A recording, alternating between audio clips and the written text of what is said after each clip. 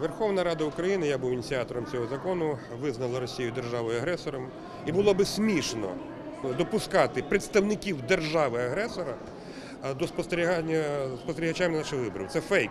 І я повністю підтримую цю ініціативу. Я підтримую е, Петра Порошенка, який заявив, що якщо ми не приймемо тут відповідно закону, значить прикордонники отримують відповідну команду, їх не допустять. А вибачте мене, оцінка Росії наших виборів, хай вони своїми виборами займаються і оцінюють свого царя Путіна.